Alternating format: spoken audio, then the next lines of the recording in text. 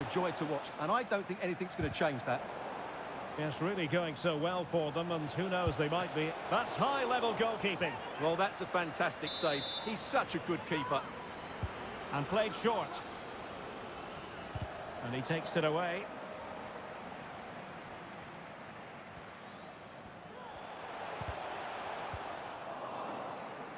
Great strong tackle. Throw in forthcoming.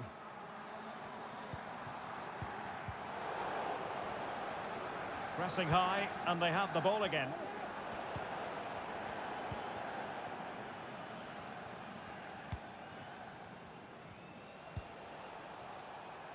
Dirk Kuyt.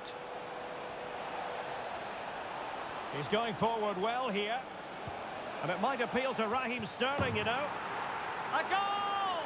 And I'll tell you what, on this sort of form, very few would lay a glove on them.